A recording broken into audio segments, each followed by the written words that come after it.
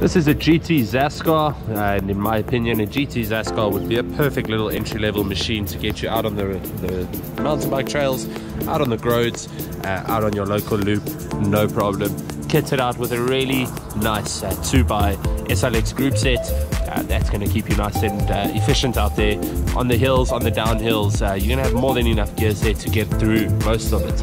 Uh, this is a super little bike, a super little bike to upgrade down the line if you do enjoy the sport. You haven't spent a hell of a lot of money on this uh, basically entry-level machine, but kitted out with some nice tech.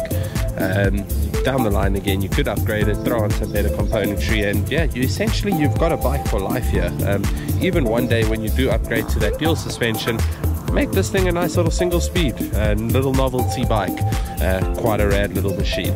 Featuring a nice uh, set of uh, hydraulic brakes Shimano Deore uh, shifters underneath. Perfect perfect little machine to get out there on the trails give you the enjoyment of cycling uh, with a nice reactive and reliable componentry system. So yeah you're pretty much good to go on a rig like this. Three month frame warranty and you know where we are. Come and check it out